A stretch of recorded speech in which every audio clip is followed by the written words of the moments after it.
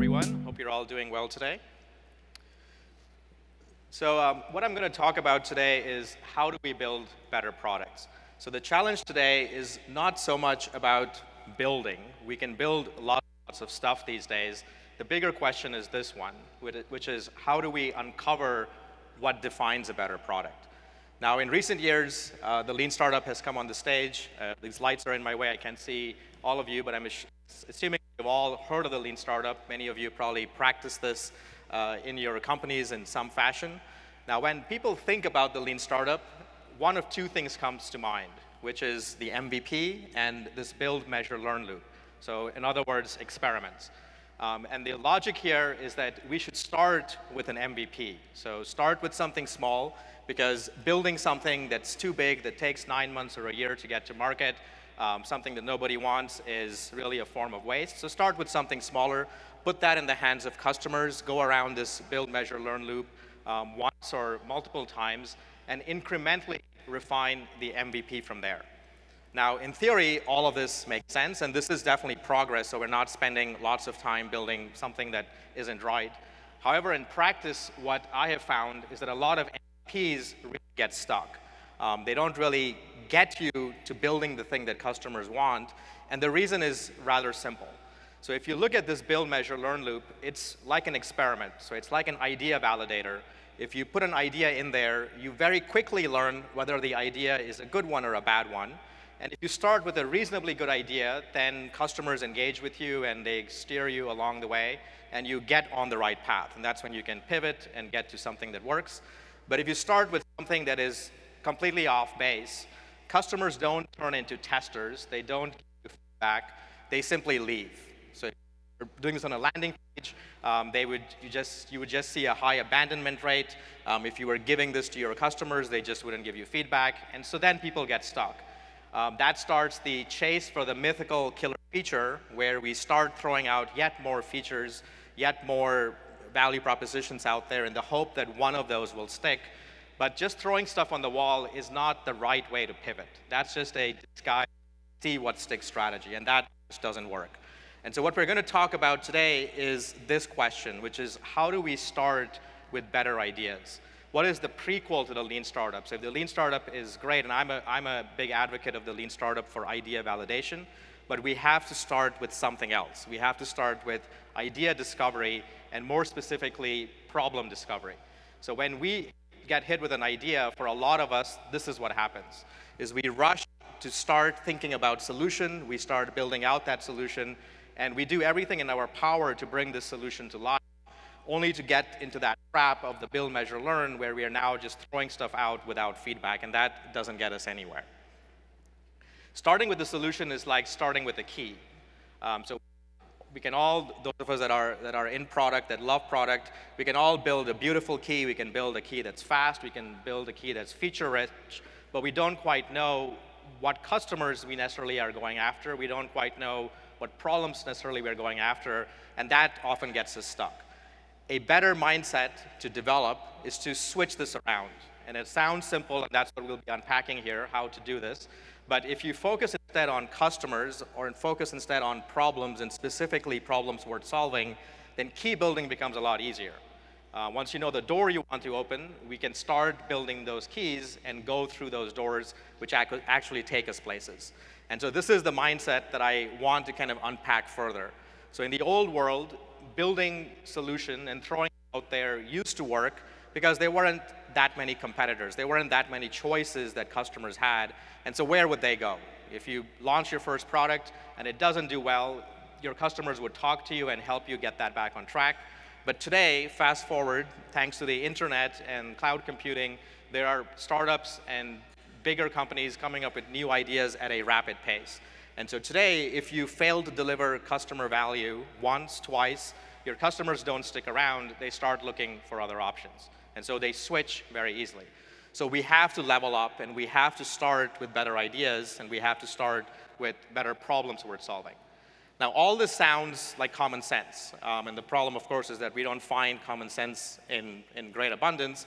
Um, and the challenges, of course, are that problems have their inherent challenges. Um, one of the first ones is this innovator's bias. So the innovator's bias is where we as product people fall in love with our ideas. This one is hard to shake off.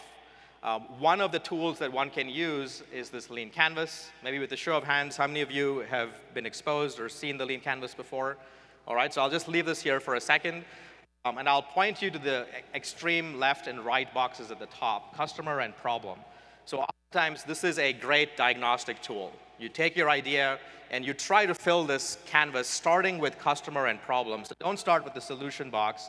Try to instead ask, who are the customers we are going to solve for and what are we solving? So what is the problem that we are really trying to get at? Um, and that's a great diagnostic because oftentimes people realize that they might be thinking just prematurely about the solution. So that's one of the tools. But the challenge with this, of course, is that even though I tell you to forget about the solution, we can't do that. And if you already have decided you're going to build a hammer, then everything starts looking like a nail. And so the challenge we, we have with even filling out the canvas is that we start to invent or fake problems. So instead of asking the question, what problems can I solve for this type of customer, we start asking what problems can I solve for this customer with my hammer. Um, and we've already injected solution into that, and so everything here gets biased. So we want to avoid that. So we're going to talk about a better way of addressing problems. All right. Um, the other thing that uh, people stumble with is talking to customers. And so we can go and talk to customers, but when we talk to customers, oftentimes we only get surface problems because customers themselves don't quite understand what problems they have. It's the same reason why some of us go to psychologists and therapists is we don't introspectively understand our current situation. And so we need someone else to kind of look in the mirror for us.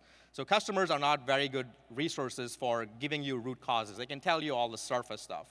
Um, the other thing that we have when we're talking with customers is if you try to talk to customers about problems, if they don't know you, like you, trust you yet, they can get very defensive um, because problems are uncomfortable. Uh, they don't open up, they don't want to be vulnerable. And then this is a real problem that those of you that are building desire-driven products run into, which is we can't really talk about problems in desire-driven products using that same vocabulary. You can't talk to people about what problem does Angry Bird solve um, or fashion or a movie. Um, it's just something more aspirational. The last challenge we have with problems is that customers too are solution biased. I know a lot of you here are in products, and so you probably do some backlog grooming. If you actually look at your feature requests and look at them more carefully, a lot of them are really solutions disguised as problems. So a customer might ask for a new feature, or they might ask for a new button, or they might ask for a new report. Those aren't really problems. They are telling you what to build, and if you've kind of, if you take that forward and build that and give it to them, oftentimes they don't even use it, the people that request it, because it didn't really solve the underlying problem. It didn't get the fundamental job done. So is there a better way? There is, and so let's talk about that.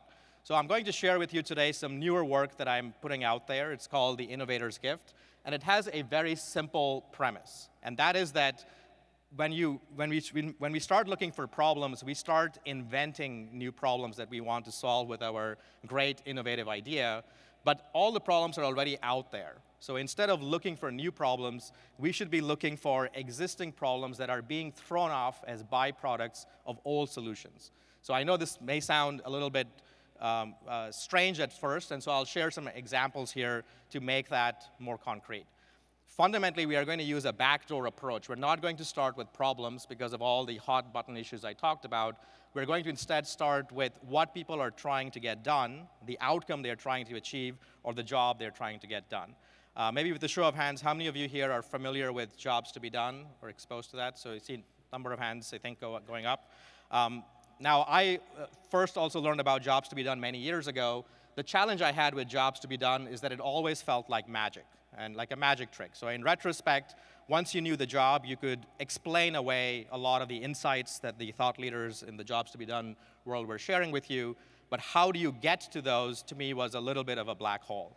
And so for the last few years, uh, since writing the first and second books, I have been digging into this. I have read a lot of Bob Moesta's work, uh, Tony Ulwick, uh, Clayton Christensen, and really try to unpack what I think makes this more practicable. So we'll be sharing with you today a new canvas and talking about how you use it. But first, I'd like to start with this example. So those of you that aren't that familiar with jobs to be done, This is probably a code that many of you have, have seen at some point. Uh, don't build a quarter inch drill bit. Build, uh, sorry, people don't want a quarter inch drill bit, they want a quarter inch hole. And what this is fundamentally trying to get at, this was uh, a quote that was uh, put forward by a Harvard professor back in the 60s, 70s, and he was trying to emphasize the importance of outcomes. So don't think about the tool, which in this case is a drill or the drill bit. That's not what people are buying. There's no desired outcome from just buying a drill bit. Think about what the tool does for you. So think about the finished story benefit.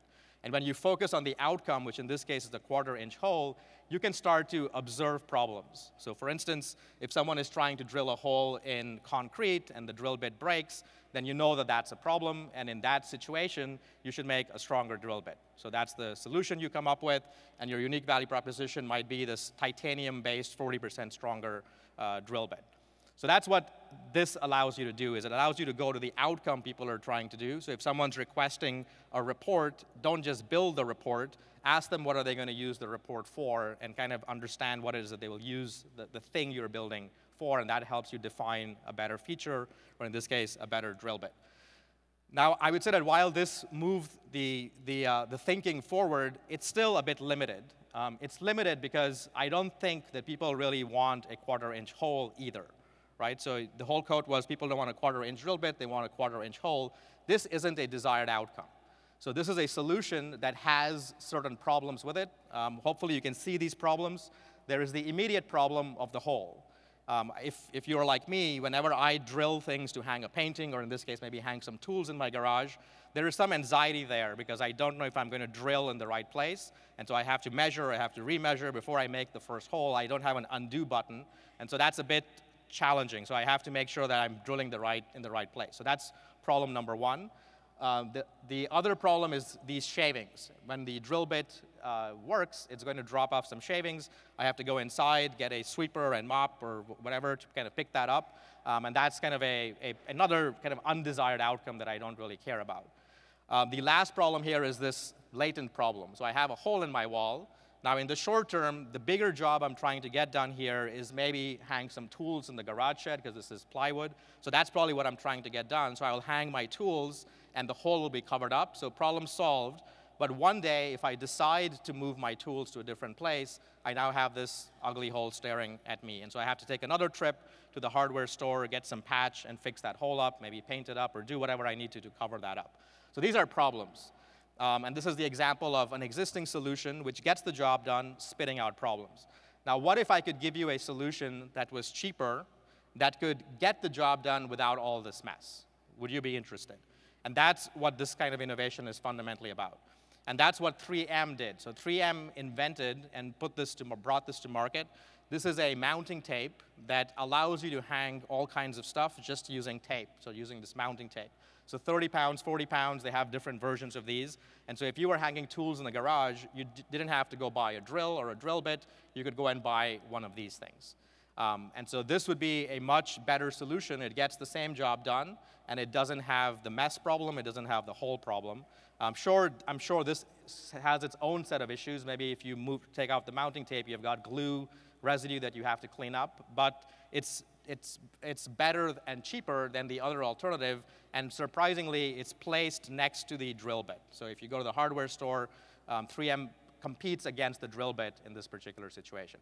So this is the kind of thinking that we want to instill, um, and how do we get to that is really what I want to talk about next. So how do you take your product and get it to the same kind of insights that 3M got with the mounting tape and knowing what they were really competing against? So the way we do this is we start, again, by studying how people are trying to get things done, and don't focus in on the job right off the start. Try to really uncover what solutions they are using today and what problems are they really spitting out. And then we have a three-step process. So we want to get out of the building, we want to discover problems worth solving, we want to then assemble possible solutions to those problems, and we don't quite know if they're going to work or not, so we test that, and that's where the lean startup really shines. We can go and do a lot of offer testing, but these are anchored against existing problems, not new problems. And then we want to turn this into what I like to call a mafia offer. So a mafia offer, if you've watched the movie The Godfather, is an offer your customers simply cannot refuse, not because you stronghold them, but because it's so compelling. So it's so compelling because it resonates with your customers. The value proposition is super clear. The problems that you're talking about are things they are living. So if you've ever, if you have ever drilled a hole in your garage shed, you knew exactly about those problems. So I don't have to explain it to you. And then when I share with you a solution like the mounting tape, maybe some of you will go off and buy that because it seems appealing. Um, and that would be how I would test. So I can test the offer, and if that converts, then we go and build the MVP. So that's kind of a high level of what that process looks like. So there is a newer canvas, and it's kind of busy, so we're going to unpack this um, step by step. So some of you may have ex been exposed to these forces, uh, these forces, customer forces, those of you that, that, are familiar with jobs to be done, as specifically uh, Bob Moesta's work. Uh, we did an early collaboration together, and so we worked together, um, and I kind of redrew this picture and, and added some more elements to it. So let's unpack that a little, a, a little bit. The way I like to talk about jobs is using this ladder. So many of you may be familiar with the Maslow's pyramid. Um, whether you use it or not doesn't really matter. The point I want to get across is that from the moment we are born, we have certain jobs to be done. And we start at the bottom of this, this pyramid and climb our way up. So when you were a baby even, you had to be fed. Um, so you would cry and you would essentially hire your parents to feed you. That was the way you communicated. As we got a bit older, we started to do other things. Some of you cook, some of you go to restaurants. Um, so we have, we, have, we have hired different products to do those jobs for us. Um, some of you, to get around, use public transportation, other car, ride sharing, other bicycle, other cars. So th that job is met.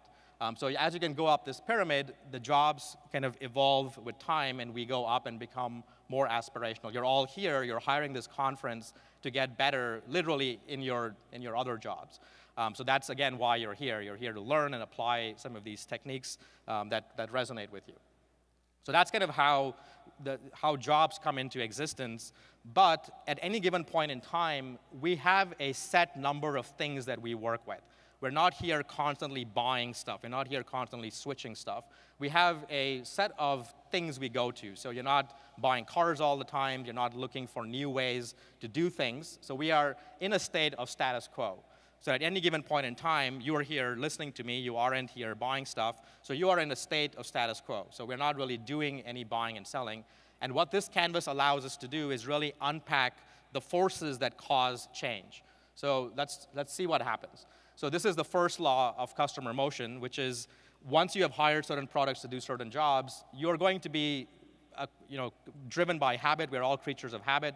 You're not going to be changing a lot of things drastically until something happens. And that something, and that's the first thing that starts things off, is a triggering event. Now, a triggering event um, is not just a, a simple event, it's an event that creates some kind of an expectation violation. So I'll give you an example. So let's say after this conference, I'm meeting some friends for drinks. I show up at the bar, and the first friend is there, and he's talking about this new car that he bought. And he's super excited and goes on for five minutes about the car. And I'm happy for him. And he's talking about how these cars don't have any keys anymore. And you know, they're more fuel efficient. His old car was seven years old. And he's so happy with this new car. Well, then the second friend comes over 10 minutes later, and she too has bought a new car. And then the two go at it for another 15 minutes. Third friend comes over, and guess what? He too has bought a new car. I don't know about you, but my car, which was perfectly fine an hour ago, now starts to feel old. That's an example of a triggering event. As I drive home that night, I'm on the highway, I start to notice other cars on the road. They've always been there, but my perception vision is now more acute for looking at new cars. Um, I look at billboards, I start paying attention to advertising, and so I have moved into this state of passive looking, where I'm considering the possibility of maybe getting rid of my seven-year-old car. Um, so that creates this motivation for the desired outcome. You know, my car is seven years old, you know, I'm doing okay, I've got a good job. Maybe I should go and buy this new car as well. All my friends are doing it. Now, for every one of those motivations for change, there is an equal and opposite resistance for change. Um, and we call this inertia or comfort of the old way. Now, a car is a major purchase. Um, I'm not just going to, on the whim of my friends buying cars, go off the next day and pick a car off, the, off, off a dealer's lot because it's a big investment, um, it's a big expense. I probably have my old car paid off. Um, getting into a loan is an anxiety I don't want to get into, and so I talk myself out of it. Um, and so this kind of is where people get stuck. So this is where the push is not yet big enough for them to start looking for options, and we're just in this passive mode until something else happens. So these triggering events are sometimes reoccurring. Let's say next week my car breaks down, and this is the third time it's happened in the last two months. So I go back to my mechanic and I said, hey, what happened? This car broke down again. And he tells me that, yes, we failed to find uh, this, en this, this, engine oil leak, and we have got all these pistons that, are, that need to be replaced. In fact, we probably should just change your entire engine, um, and that's going to be $10,000, $15,000. At that point, that triggering event forces me to then move into the next stage, because now my push of the situation is much greater than that resistance, that comfort of the old way. I don't want my old car anymore because it's now no longer good enough. What's at stake is that I'm going to put all this money in and it could still break down. And so I don't want to do that. And so now I move up to the next stage here, which is the consideration stage. And I start looking at options. Now, I might not stop at just the same car. I may not even stay within the same brand. I might start looking at other types of cars. You know, hybrids are possibilities, electrics are possibilities. Tesla has, you know, launched their, their Model 3 now. So maybe I might start considering shifting from my old car to an electric car. I might not even stay within cars. I might say, well, if I'm in a big city like San Francisco or New York, the car is actually a problem because I have to pay for parking, I have to find parking, that all takes time. Maybe I could just live off ride sharing, or maybe I could just live off the subway or metro, or I could be healthy and use bicycle for most of the things and then supplement with other things. So that's when we start considering a bunch of different options. And the point to raise here is that your competition is not often within the same category.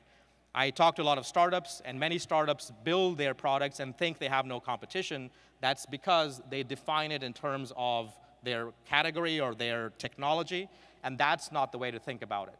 I find more startups get killed by email and spreadsheets than another startup or another product. So if you're building collaboration software, or if you're building, um, if you're building productivity software, analytics software, a lot of what people are using today are email and spreadsheets, and that's your true competition. That's what you're trying to cause people to switch away from. So that's kind of a, what, what we need to realize here. So your true competition is whatever your customers begin to consider when they have been triggered.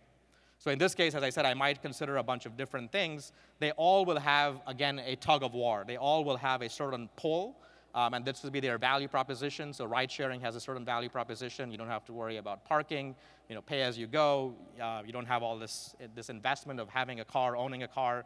Uh, but it also has friction, anxiety. What if I am not able to find the, a, a ride share when I need it in the right time? Um, what if uh, I, I, have to go further away and what do I do then if I'm taking a trip? So those are all the anxieties that people come into. So this again is a tug of war that customers go through and eventually they're going to pick one product. So the one that they pick is where the pull, again, is greater than the friction, um, and the combined push and pull gets people up to where they buy a particular product. Now, what's also interesting to point out here is that people will sometimes keep multiple products around, and so even though they start moving up this hill with one product, they always have the old product as a backup. Now, this is not always the case, but in, in the example I gave, I might keep my old car for a while, do some ride sharing experiments, you know, try it for a week or two, see if I can live off of that exclusively. And if I can't, then I know that that wouldn't work for me. So people do these types of trials. And so the thing to realize here is that they sometimes use multiple products simultaneously, and all these forces are working up against them. Um, they'll eventually get the, you know, put one particular product the job done, and then they ask themselves, you know, was that better than the old solution? And if it was, they might hire this new product, and that new product becomes a new status quo. So if I get rid of my old car and I decide ride sharing wasn't the right thing, but I want to go electric, I try that out for a while, maybe do a test drive, and then I buy that car, that has now become my new status quo. I'm not next week going to go looking for another car because I'm now stuck with this car. So that's what we want to really unpack. So in the way we use this canvas is rather than going and pitching your solution, trying to get it in the hands of customers, if you can instead go and talk to them and unpack these forces, understand how, how they're being used, you can apply them for all kinds of growth possibilities within your business. So you can apply them to get more customers, that's what acquisition is, keep your customers longer, retention, or use your customers to get new customers referrals, just by playing off of these forces. So I'm going to focus today just on one of those. We're going to talk about acquisition and how do you really cause switch. Um, so if you believe in what I've talked about so far, every time people are triggered, there is always an old solution, an old way of doing things, and then they're moving to a new way. And so innovation, acquisition, is fundamentally about causing switch, and that's a way to kind of think about it. So I'm going to share with you some tactics for doing it, and we're going to focus on just one of them, um, just one of the, the, the, elements today, and then the others I'll kind of talk, to, talk, talk through at the end. Now, when we, when we try to acquire customers, a common practice is to try to build a persona of your customers, because if you don't know who you're trying to attract, it's hard to build marketing, it's hard to build messaging for them.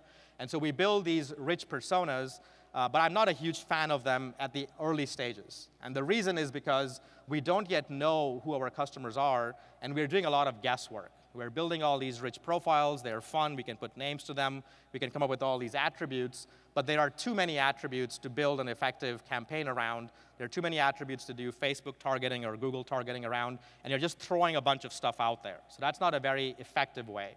Um, the art of the early adopter definition is not hundreds of attributes, but rather having as few attributes as possible that really distinguish people that aren't customers from people that are customers.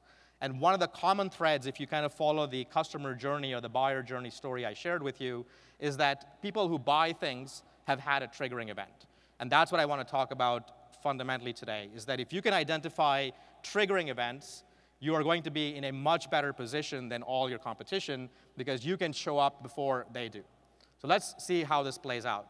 So if you were running uh, a business where you had, you were selling mattresses and these mattresses were good for back pain, when would be the best time of day to run an ad for that? And you could just shout out some answers.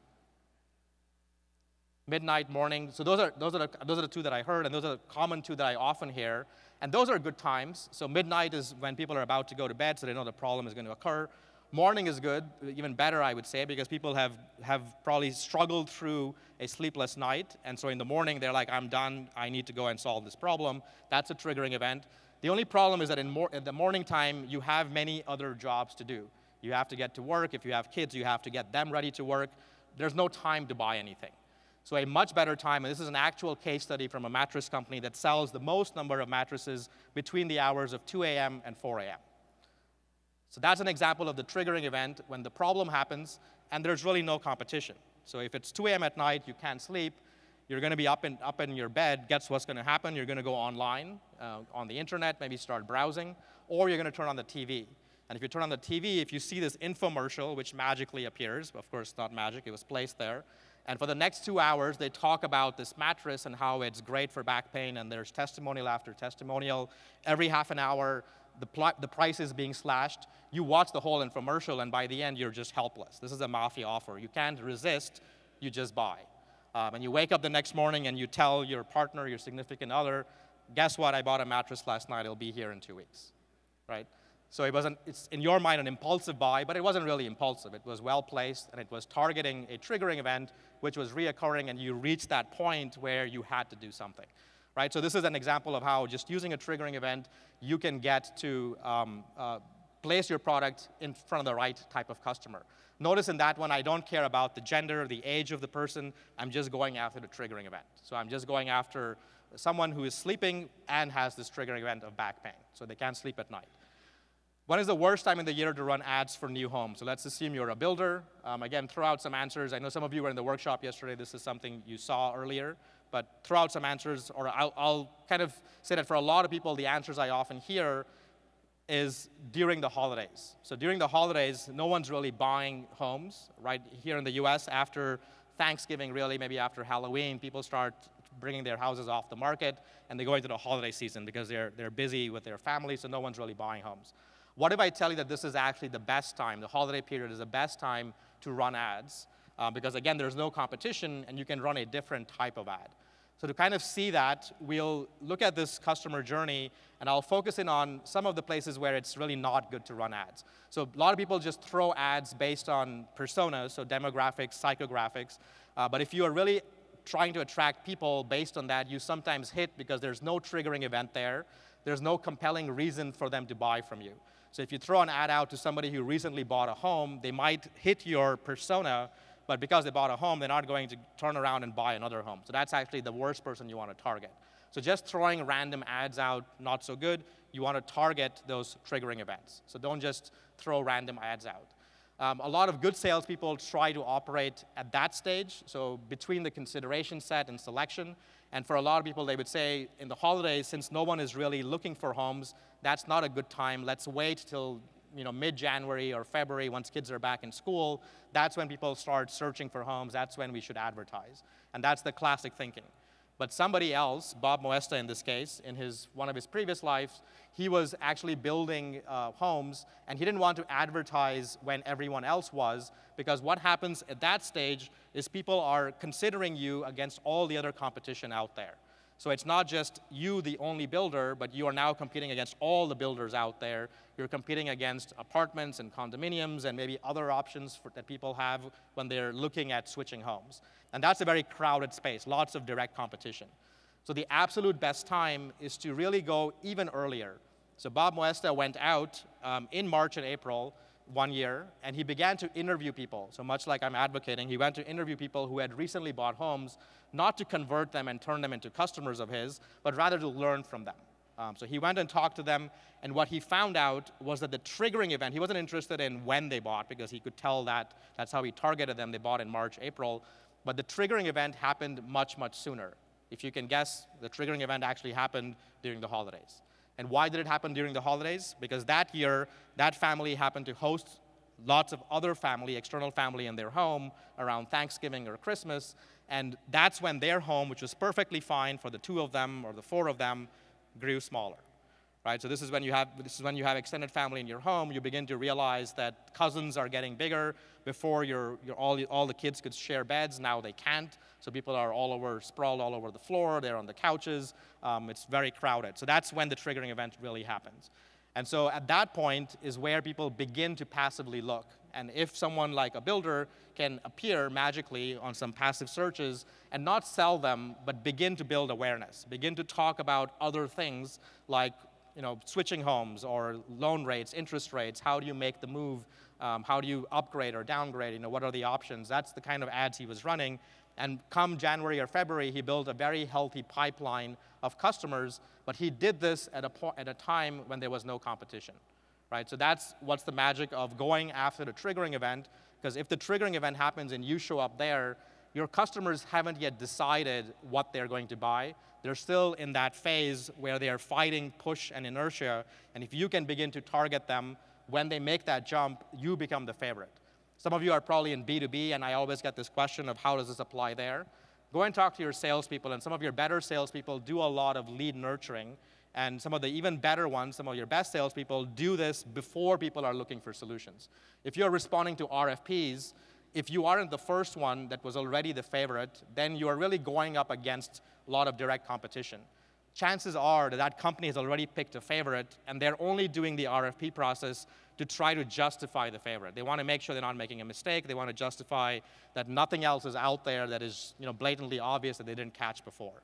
So you aren't really the favorite, and that's an unfair advantage for the favorite because as long as they're good enough, they're going to get that account. So responding to RFPs, I know some of you may do that, to me not as, as effective. If you can instead get to the point before the RFP and start establishing a relationship with a customer and even educate them, get them to start thinking of problems, um, and of course magically you have a solution in your back pocket. You don't start pitching that, you really start helping them with their problem. That's a more effective way of getting that customer.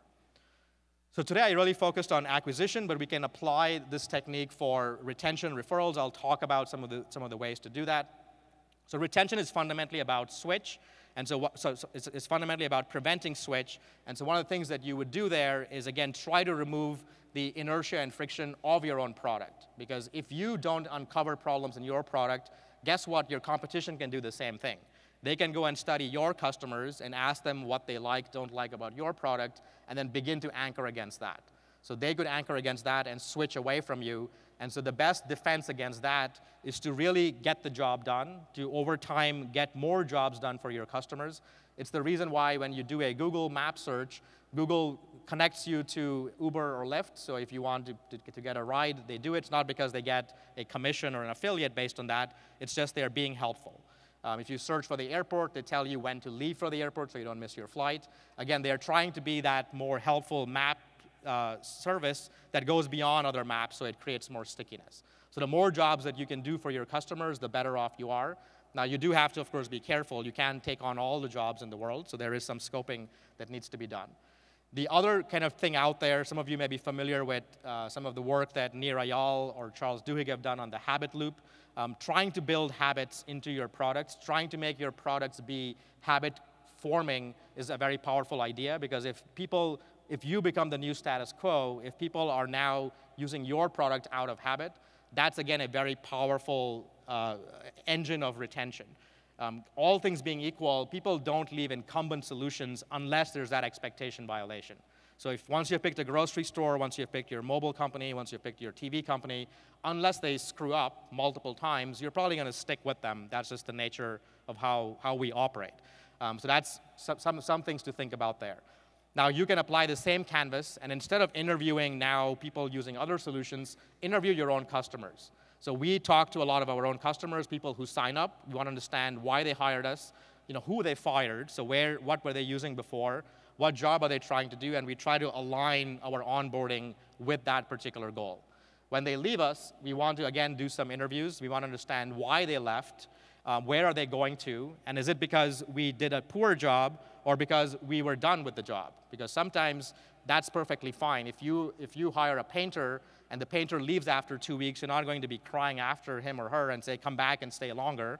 Um, the job was done and they're going to leave and you're going to thank them and probably give them referrals um, if the job was done well. And that's what you want to do. So you want to talk to people who are canceling or leaving, make sure that they are leaving happily, and if they are, ask for a referral. So that's kind of gets into that, that third piece there. So hopefully this was some, some insights. Uh, I, so there's the whole canvas. Uh, there is a link here if you want to go and check out more details. You can download the canvas here. There's also some other content here. There's a group that we have, which is a practitioners group. If any of this piqued your interest, you can check out that link. Um, we'll also have slides that will go out um, to all of you, so you'll have all these slides as well. So hopefully that gave you some insights. Even if you took one thing from this talk, um, I would say triggering events is key. So if you can even uncover triggering events that cause people to start considering products, not to buy, but the first thought, if you can uncover that, that puts you in a much more powerful place to be able to position your products and then start to uncover those problems from there. Thank you very much.